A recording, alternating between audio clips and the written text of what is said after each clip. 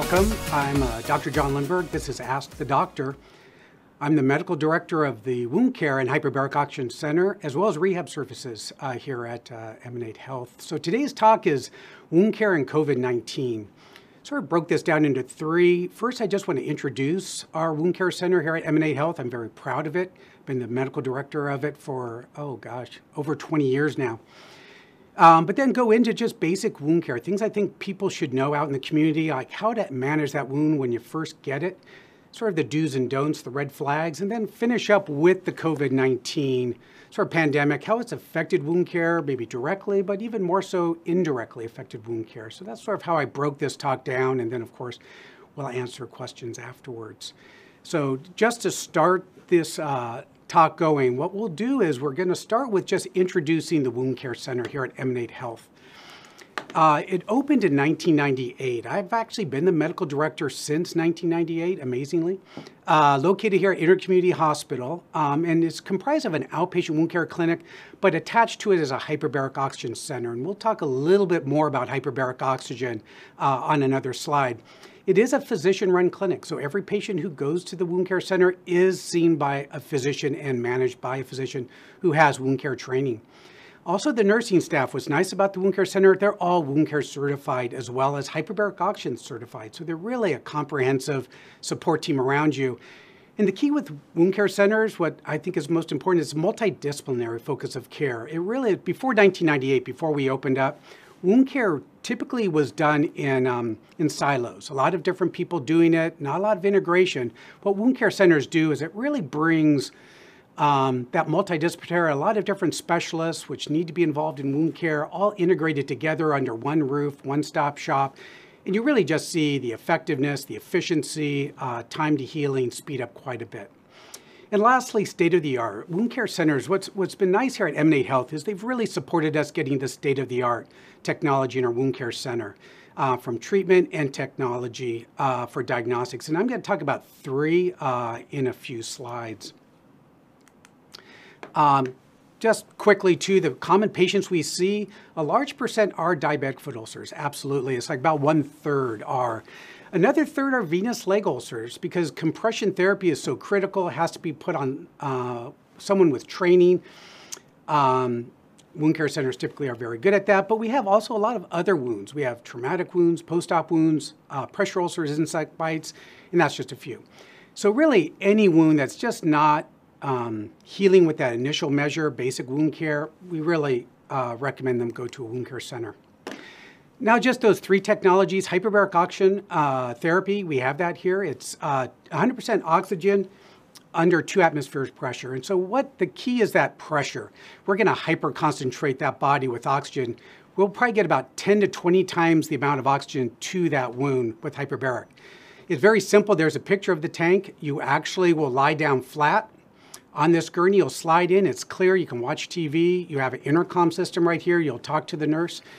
And usually the, the treatments last two hours. It's every day, Monday through Friday, and usually initially for 20 sessions. So it is about a four week uh, commitment of time, but it's great for especially complex diabetic foot ulcers. That's by far the majority of patients we see. Chronic bone infections are common, radiation tissue, uh, certain infections, but diabetic foot ulcers by far the most common.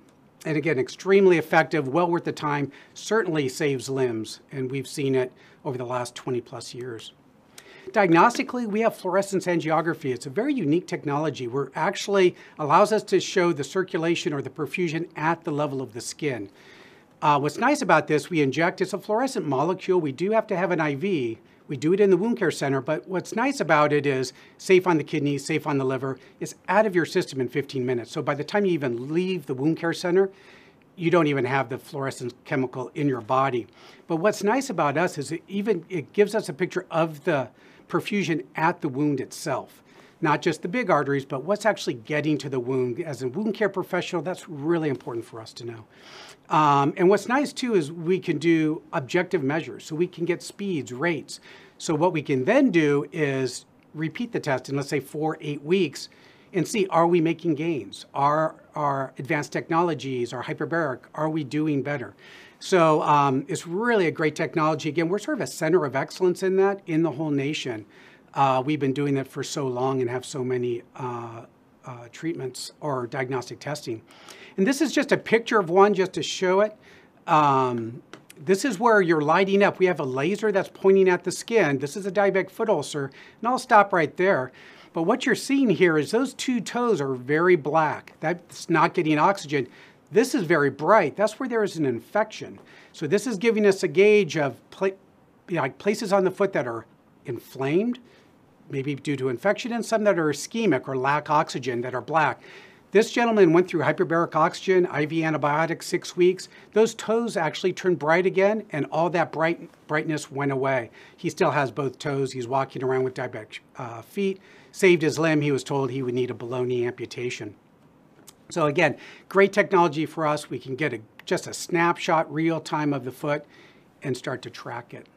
And then the last uh, technology we have is application of skin substitutes. And this is really also the latest trend in non-healing wounds. So we used to do split thickness skin grafts a lot, uh, take skin from the thigh, move it down to the wound.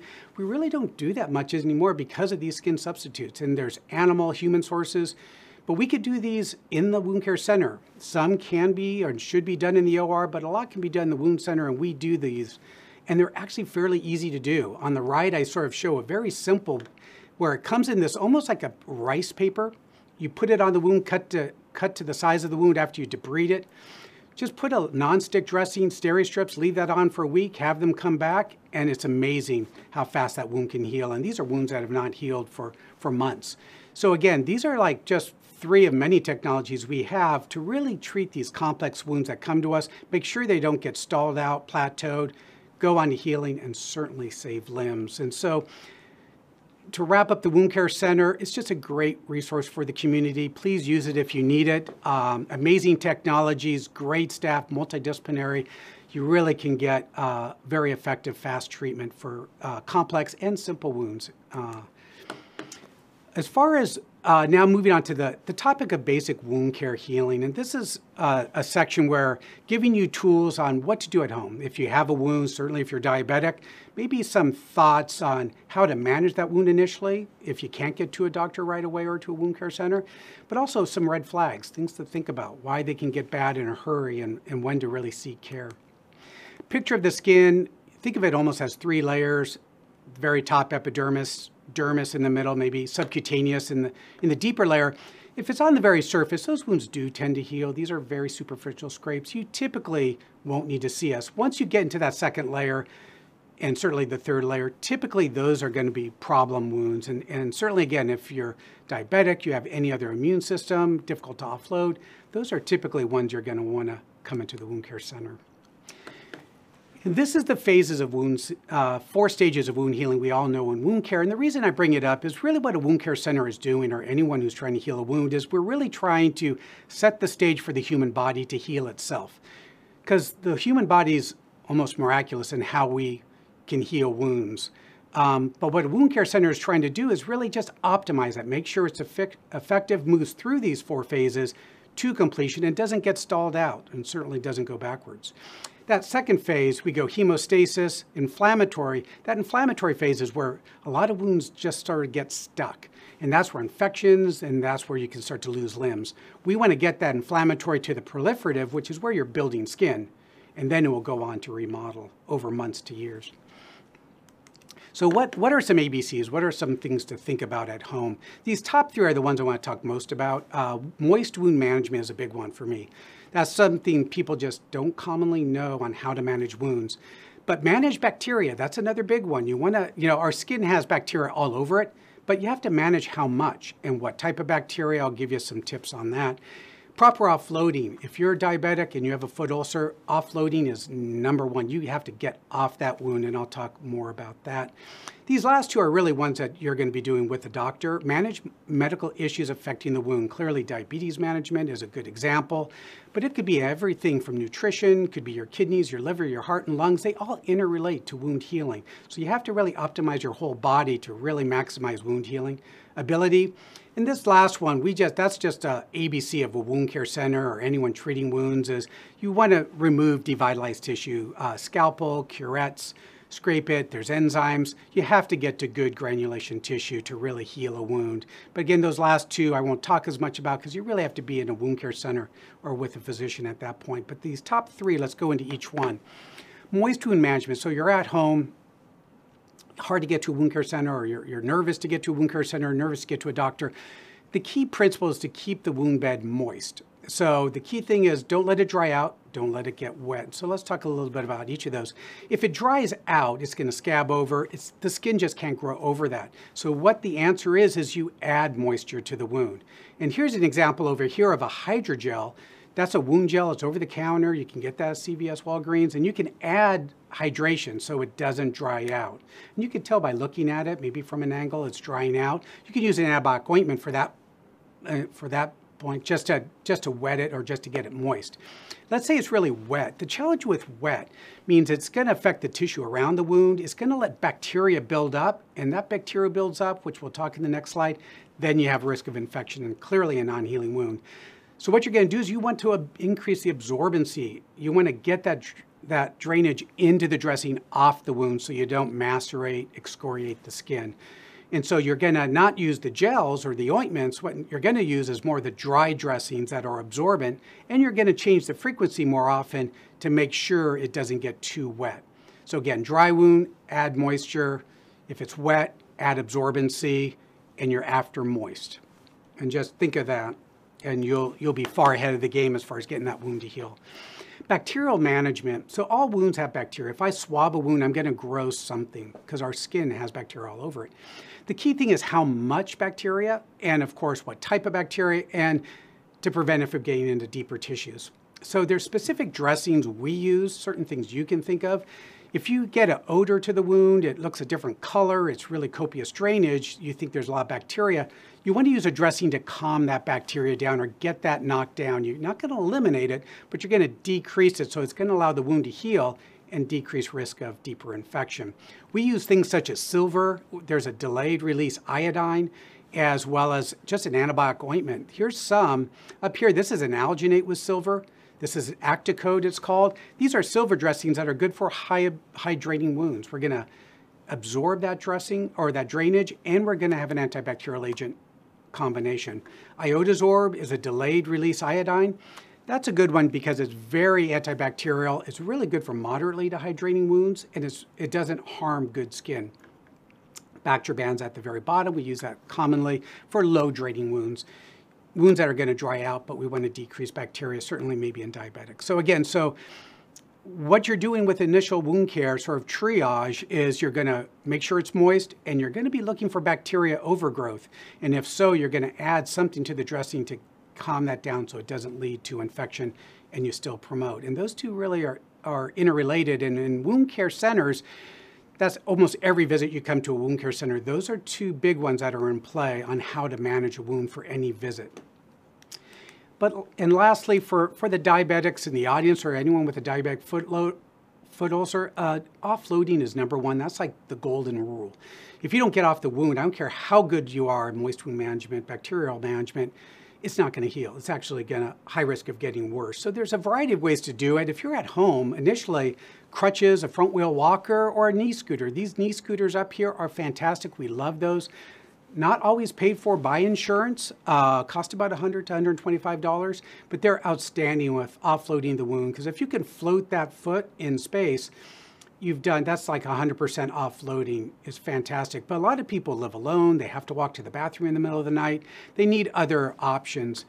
These diabetic wound share wound shoes down here with these hexagonal cutout foams they're, they are over the counter a lot of insurances pay for those but those are great ways to offload a wound still allow you to function short distances still not wanting you to walk long distances on, on a foot ulcer, certainly in a diabetic. Then if you go to a wound care center, we go all the way up to total contact casting. We'll build these crow's boots. We'll really get a very offloading boot that still allows you to walk a little bit, but really will offload it almost as good as a knee scooter would or crutches or a walker. But the key thing, full circle, is if you have a wound, if it's on the bottom of your foot, especially if you're diabetic, get off the wound. Then focus on moist wound management and, of course, bacterial management. These next couple slides are just to bring then finally a point, these red flags, and just to bring a point on this slide that wounds are complex. You see a wound on your foot, on your leg, and you imagine it's very simple, it's limited to the skin, it's easy, let's just put some neosporin on it, it will go away. But there's so many things that go into why wounds heal, why they don't, why they get worse. Circulation is a big one, arteries and venous, not just arteries. Uh, sensation, if you have a neuropathy, that's huge. You can't feel the wound. The wound will get worse in a hurry. You won't even know because you can't feel it. A lot of orthopedic dysfunction. If you have any orthopedic deformity of the foot, the toes, the midfoot, flat arch, those all go into it where that's going to affect wound healing ability to um, get a wound to turn around. Diabetic control actually has been shown to actually allow wounds to heal faster. And nutrition, vitamins, or certain amino acids, but just a good nutrition, vitamin supplementation is needed.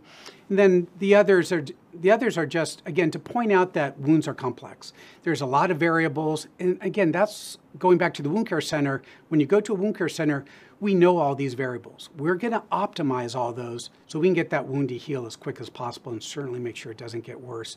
So just the takeaway on this slide is wounds are really actually very complex, so they may look very simple to you. Um, and then we get into diabetic foot ulcers, and my statement on the top is, is so true. I would consider all diabetic foot ulcers complex. I don't care how small, it's only been there for a few days, you're at risk. I mean, the thing with uh, diabetics, you have a neuropathy, you can't feel well. The wound could have been there forever, could have deeper injury that you don't even know about. Circulation impairment is very common in diabetics, especially the small arteries, uh, ones you can't even do surgery on. And that will cause the wounds to get worse rapidly. Uh, your immune response isn't as good, so you have higher risk of getting infections and deep infections, and certainly then limb loss. You get more foot deformities if you're diabetic, putting stress on areas that are difficult to heal. And the hospitalization limb loss risk is clearly elevated. And then this is a graph to the right where basically you see if a foot ulcer is admitted to the hospital with an infection, you could almost by far, they're diabetic. Um, very, very few foot ulcers with infections, if you're non diabetic, actually end up getting admitted. They're almost diabetic. So, again, that point is to really get to the problem early. Don't let it get to that stage of hospitalization. Go through all those complications, all those complexities, optimize all those, get the wound to heal fast, and you're going to prevent that hospitalization. Because this last slide is the consequence of chronic non healing wounds. And again, maybe just to bring the point home again, that if you get a wound that just doesn't turn around, doesn't heal, you've been trying to heal at home, it becomes chronic, there's a ripple effect of that. Clearly, infection leading to sepsis is a big risk. Um, but additional wounds start to crop up because you're trying to offload this wound and it's chronic. You get deconditioned, your heart, your lungs, you're not as active. All of a sudden, you can't walk as far. That's not good for your heart. You start getting more joint deformities because of the way you're walking. Your fall risk is definitely increased, hip fracture risk then with that. And depression's a big one. I wanted to bring that up because chronic non-healing wounds, you're stuck in the house, you're not able to see friends, family, do hobbies, go to work. Um, you're off work for long periods of time. Depression's a big one we see in, in chronic wounds. And so we really more reason to get to the wound fast, get to a wound care center if you need it, get that thing healed so you can get back engaged in life. Diabetes out of control wounds will affect diabetes control. And then lastly, gangrene and loss of limb. That's the, the major goal of a wound care center and certainly uh, in diabetic wounds is to save the limb, preserve the limb, try to preserve and don't even allow gangrene to set in.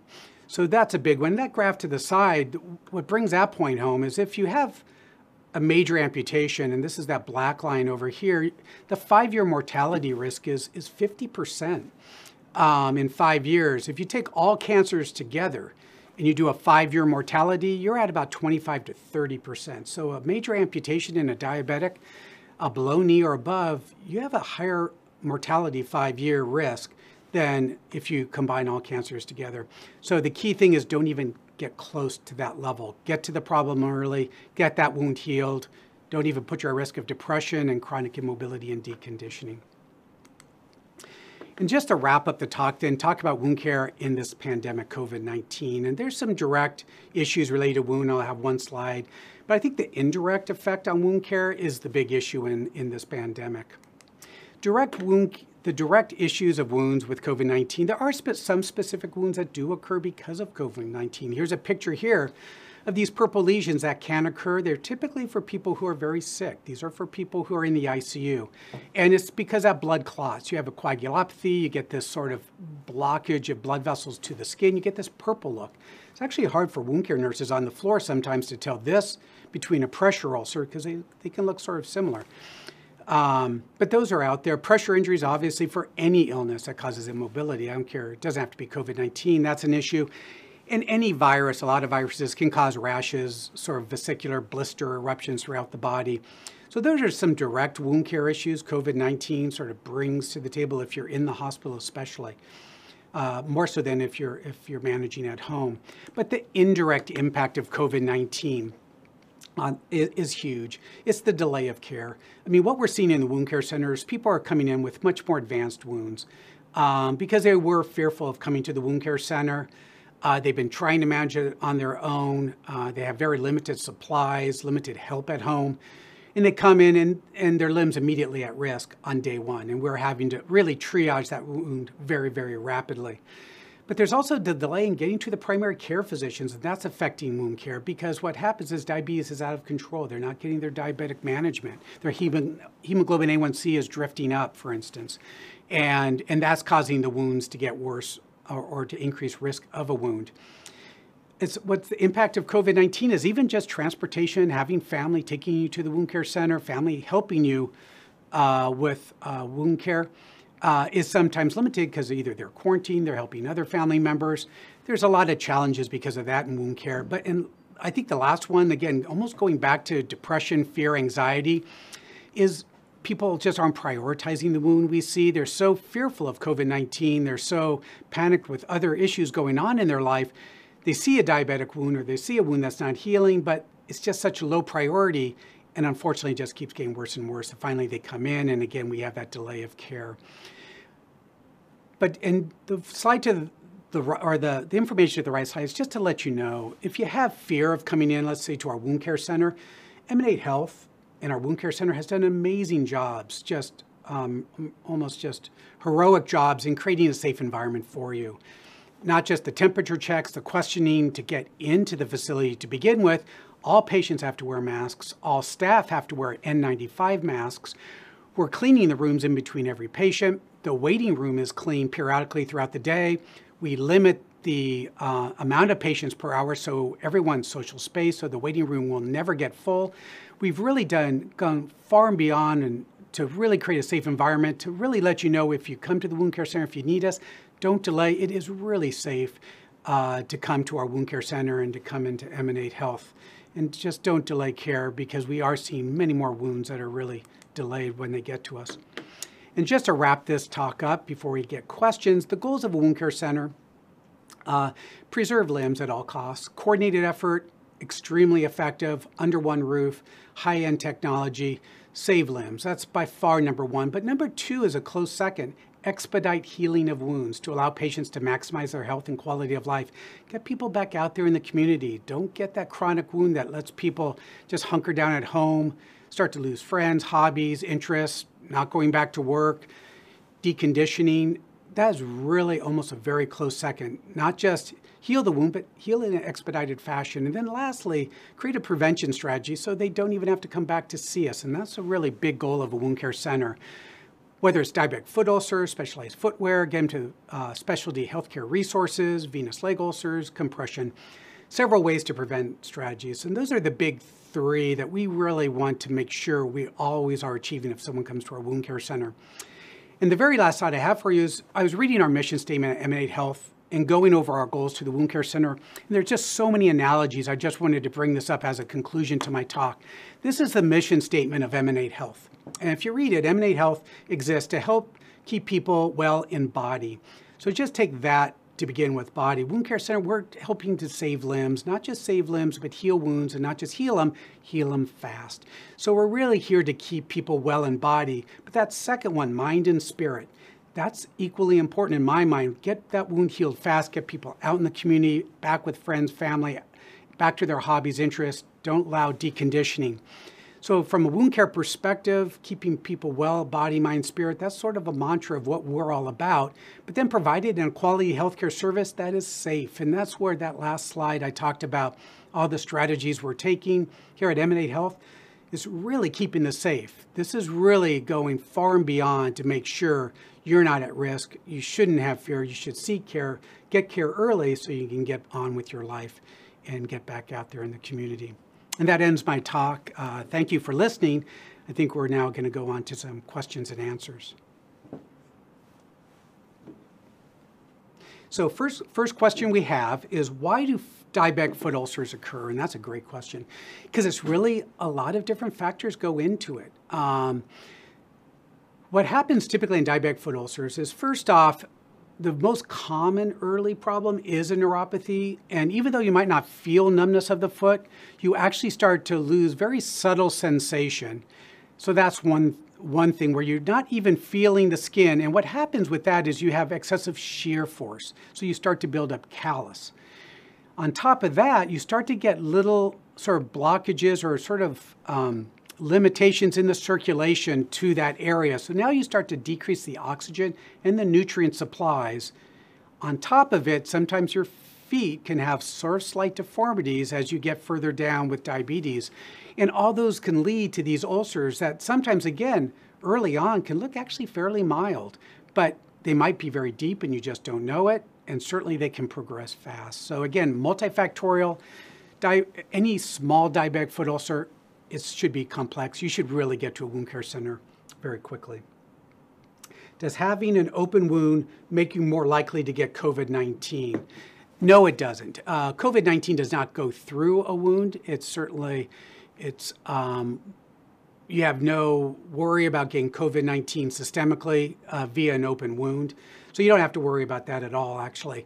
Um, I think again the COVID nineteen aspect to wound care is is clearly just making sure you don't delay care in my mind.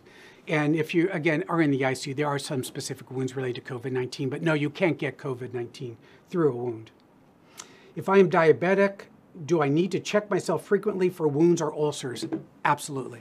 If you're a diabetic, you almost first thing in the morning, you make it almost a routine like like how you brush your teeth in the morning in the evening. I would say too, even after, if you go for a long walk, if you all of a sudden decide to go to the grocery store, Costco, whatever, you go to an amusement park when they're open again, um, any long outing is a good time to take off your shoes periodically and look at the skin because you can see immediately there might be some red spots. Uh, areas of callus are at risk areas. So I would recommend if you're diabetic, you should be checking your wound, if not two, three, four times a day, certainly after long walks as well. And if you have a neuropathy, you should be getting yourself into diabetic shoes with custom inserts to prevent wounds because that will disperse the weight throughout the whole foot and not concentrate it on certain areas that are common in diabetic foot ulcers. Can having COVID 19 prevent my wounds from healing? It really, as far as COVID 19, it depends what wound it is. Now, if it's a pressure ulcer uh, related to COVID 19, you have to offload it if um, COVID 19 in of itself, I mean, it can cause, like I, I showed those purple lesions, those are very unique and actually not that common. Um, and those are just treating the blood, the blood clotting issue with medication and offloading as well.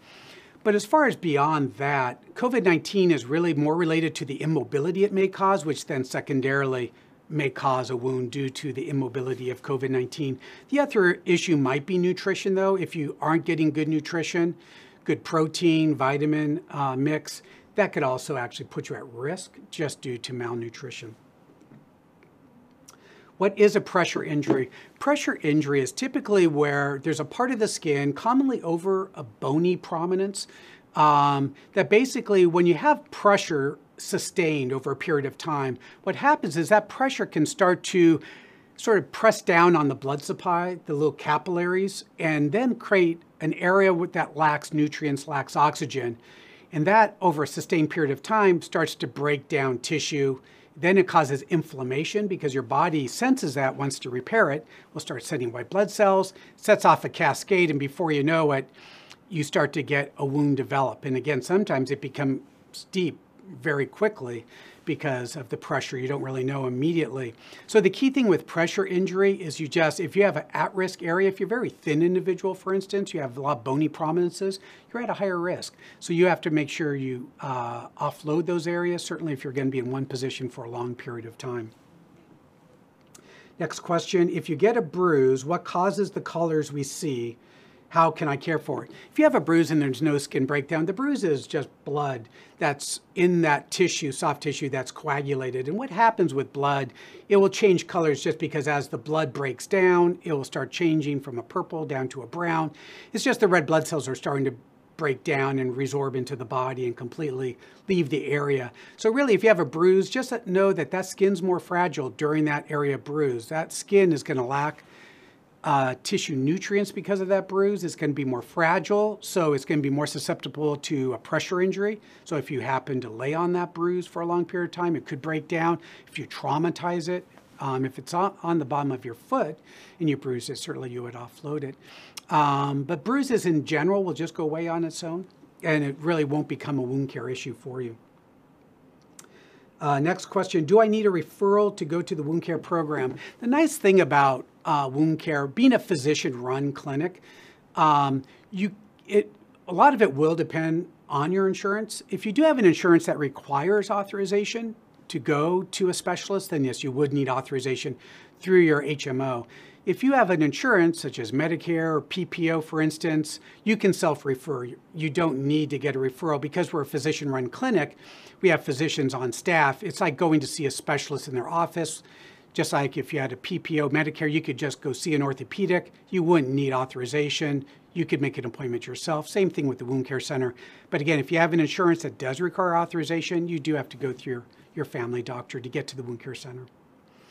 Um, looks like maybe the last question. Can I still exercise if I have a foot wound? That's a great question, and it really depends on the foot wound. We typically uh, if it's a diabetic foot ulcer and it's a high risk, we typically are going to offload. We're going to really ramp down that exercise very quick on that wound till we know it's stable. If you're non-diabetic, it really depends where the ulcer is, how bad it is, uh, where you know what type of footwear you're going to exercise in. Again, exercise and foot ulcers actually a fairly complex decision when to go back and how to pace it. And so we'll integrate that into the program as we get towards the tail end of wound healing and certainly on that last phase where we're into just teaching you prevention.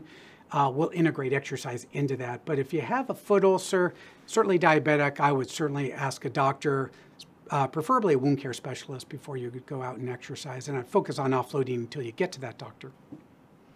And I think that might be the last question that I see.